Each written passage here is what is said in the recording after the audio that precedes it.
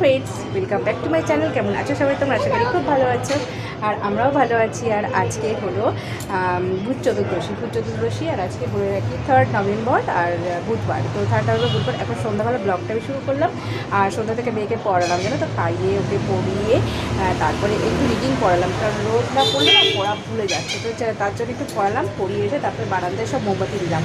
আর মোমবাতি দিয়ে তারপরে একটু তোমাদেরকে শেয়ার করে দিলাম, কেমন লাগছে আমার ছোট্ট বারান্দাটা মোমবাতি দেওয়ার পরে। যেও না বাবা, মনের মধ্যে সেটাই শেয়ার করার জন্য আমি ভিডিওটা আজকে করলাম। তো কেমন লাগছে আমাকে কমেন্ট করে অবশ্যই জানিও।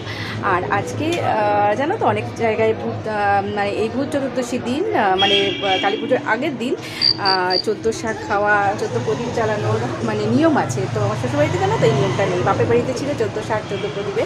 তো প্রতি বছরই মানে নিজে হাতে মাটি, প্রদীপ করে চোদ্দোটা প্রদীপ করে তারপরে সারা বাড়িতে দিতাম। তো শ্বশুরবাড়িতে এই নিয়মটা নেই।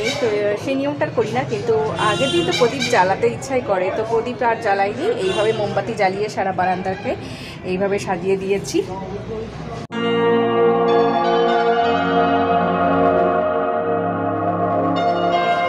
কেমন হয়েছে? আমার মানে ছোট্ট বারান্দাকে সাজানোটা কেমন হয়েছে?